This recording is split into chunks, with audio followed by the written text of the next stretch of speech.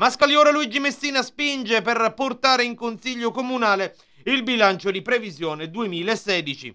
La giunta vuole ora chiudere al più presto questa pratica che in questo 2017 ha rappresentato una spina nel fianco così come in questa settimana che volge al termine ha rappresentato una spina nel fianco il problema idrico a Carrabba, che è stato al centro dell'ultima seduta di Consiglio Comunale con i duri attacchi rivolti all'amministrazione da parte di Emanuele Nigri e Carmelo Caltabiano.